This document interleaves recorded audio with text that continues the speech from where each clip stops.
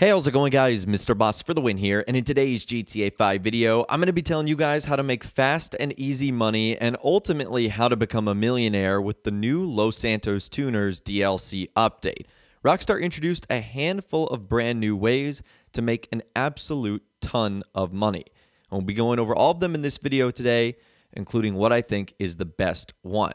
Let's begin with the contracts. These are new robbery style jobs that consist of two planning missions in free mode, followed by a final job to close the contract. Now, six are available right now, with two more that are going to be added in the future.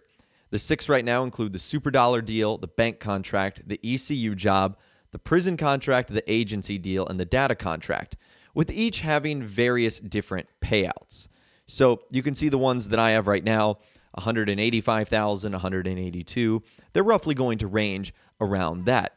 Now, the best part about this is a couple of things. Number one, they can be done solo, which you lone wolves are going to absolutely love, meaning you don't have to have any friends or crew members on to start this. And I can just tell you right now, I am not a great Grand Theft Auto Online player by any stretch of the imagination. I was able to do the one I did the other day pretty straightforward and easily. So if I can do it, I know you guys can. The next best part about this, it can be done in an invite only session. So don't get scared about free mode. You can do this without any interference from anyone else, which makes this quite nice. Now, in order to start this, you do have to either be a CEO or a VIP or a motorcycle group member. I would recommend being a CEO. I personally think that for the two free mode missions, your CEO features are going to be more useful. Like, for example, there was one time where I had to go all the way across the map to McKenzie Airfield, and I just spawned myself a buzzard right in front of me instead of having to make that long drive. And it also made it very easy for taking out the objective, which was to find an IAA agent and then get his key card. So, stuff like that, I would highly recommend being a CEO versus the motorcycle stuff. I just think for these jobs, you're going to use that features a little bit more. Now, as far as the final job goes, you can choose to invite friends if you want. Uh, I decided to do this solo. Now, I'm not exactly too sure what happened at the very end. I was supposed to get $182,000, and I only got around $168,000. And I actually looked at the entire time it took me to do this, and it was about 40 minutes. Now, again, I was doing this by myself. Sometimes I did get wasted. Sometimes I had to spend time filling up on snacks and body armor. So maybe you could even cut that down to around 30 minutes. But that's really not all that bad at all. Over 168,000 in, you know, 30-ish minutes. That was pretty easy. I've heard reports that the reason my payout was a little bit lower is because there's actually a 10% cut for Moodymann and Sessanta. So if that's the case, that makes sense. The payouts for the data contract is 170,000. The prison contract is 175,000. The super dollar deal is 185,000. The bank contract is 178,000. The ECU job is 172,000 and the agency deal is 182,000. So your best is the super dollar deal, second best being the agency deal, and then you've got the prison contract being the next best followed by the ECU job, and the least paying one right now is the data contract. But they're all relatively close, so you're not missing out on much, even if those three aren't available on your board. Now, as far as the two prep missions go, they each pay $10,000 each for completing them.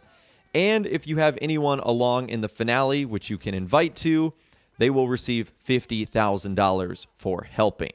So if you don't do the preps, but your friend invites you to the finale, you will get $50,000. Now, there are cash bonus awards for completing each one as the leader. For each one right now, you will get a $75,000 bonus for completing them for the first time. So, not including the 10% cut, if you complete all six of these contracts once, just doing them and getting the payment for the finale, that's going to be $1,062,000. The amount of money that you'll get for the prep is going to be $120,000. And then if you add that total to all the bonuses you'll get as completing them as the leader, 75,000 times 6, your total is $1,632,000 just for completing these each one time. So, at a minimum, even if you don't think they're going to be something long term, Just doing them once with all the bonuses and the preps and the fact that they're actually really fun. I know we're not even really factoring that into this video. They are fun. They have new characters, new cutscenes. They're exciting. I basically consider them mini heist missions. You're going to be getting over 1.6, nearly 1.7 million dollars just for doing them once. So I would say that is well worth it. And you can basically knock all six out in not a long amount of time. It took me about 30 minutes to do one. So if you can knock out two in an hour, three hours, and you've got $1.6 million, that's not bad at all. Now, after you complete one auto shop contract, you're going to unlock exotic exports. And these are vehicles that are randomly found around the map, stolen, and sold. Now, each person is going to be given a different exotic exports vehicle list. So I would imagine that this is something that is updated either on a weekly or daily basis, or it might be on an event basis where Rockstar updates the tunables. So we don't know how long we're going to have the opportunity to get them, or maybe it just simply changes once you've found all of them on the list. But here's what I do know about the total payout it's going to be $300,000. And most people are saying that it took them around three hours' time which to me is kind of a total waste of an effort. So the total payout for completing a list is $300,000. You get 200K for the cars and a $100,000 bonus. And for me, this is not really an efficient use of time because in those three hours, you basically could have done the contract missions and gotten yourself way more money. And the spawns seem random, they are all across the map, which can also be very frustrating. Now, luckily, you can all do this in a solo public session or an invite only lobby. Rockstar has not required any of this be done uh, where other players have to be involved. So, that is the exotic exports list. It's not something I would recommend doing, maybe other than once just to see how cool it is or see if you actually like it. It's basically Simeon's import export 2.0. Nothing super exciting here. But that's the second way you can make money. The third way you can make money is the repair and modification business. So, you will occasionally be tasked with repairing and modifying customers' cars to their requested specifications. Now, players can then choose to deliver the modified car back to the customer themselves or send hired staff to do the delivery to earn the rewards. So, long story short, this can either be a hands on business or a passive business. Now, if you choose to do it yourself, your max payout is going to be $60,000 for delivering a vehicle if it arrives unharmed. And if you decide to let the staff member do it, which I do not recommend because it's going to take a longer amount of time and it's going to arrive damaged, you're going to only make around $43,000. Now, when these service jobs come in, they are random and you will be notified of them on your cell phone. So Santa will send you a text saying a customer has delivered their vehicle.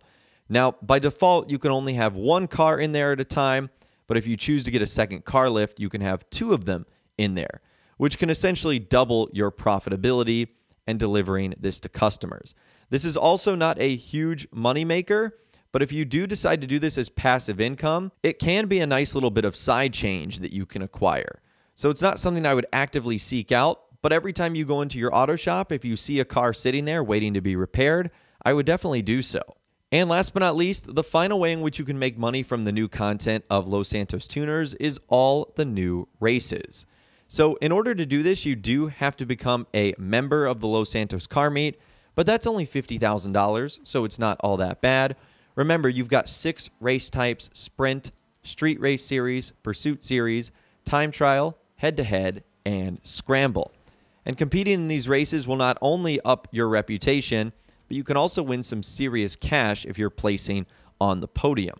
So that's something I would definitely recommend as well. That in between the auto shop contracts, the repair and mod business, exotic exports, that you jump into a handful of these races not only to get familiar with the vehicles and up your reputation, but also earn some side cash as well. So, anyways, that right there is how you can make fast and easy money as a part of the Los Santos Tuner DLC update and become a millionaire quickly in Grand Theft Auto Online. I'd love to hear from you guys in those comments down below of everything we discussed in this video today. Which do you think is the best money making method here in Grand Theft Auto Online? As part of the Los Santos Tuners. I'd love to hear from you guys and what you think in those comments down below. If you guys did go on to enjoy this video, though, a like rating would, of course, be awesome.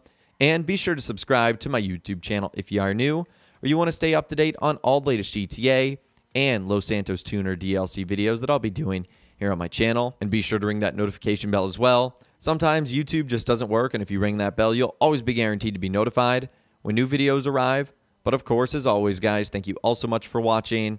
Take care, and I'll see you guys in the next video.